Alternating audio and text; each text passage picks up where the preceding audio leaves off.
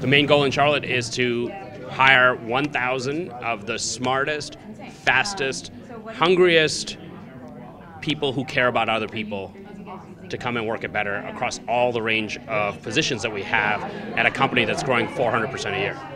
Charlotte's an amazing city. We started coming down here about two years ago when Ally uh, Ventures first made an investment in us, and we started talking to Ally about all the things that we could do to make homeownership better for all of Ally's customers. And when I came here, I was really amazed and energized by all the great places to hang out downtown, uh, from the breweries to the restaurants, uh, the energy, the knowledge within Charlotte of all the amazing financial services uh, industry that's been here before. So young people who are knowledgeable about financial services and dynamic and care about the same mission that we do, which is helping the American homeowner afford a better house with a better mortgage.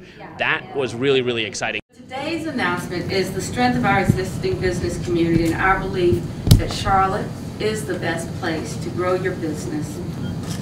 We know that companies like Better.com choose Charlotte because of our commitment to them, to invest in our people, our city, and our infrastructure. And we're thrilled to welcome you today.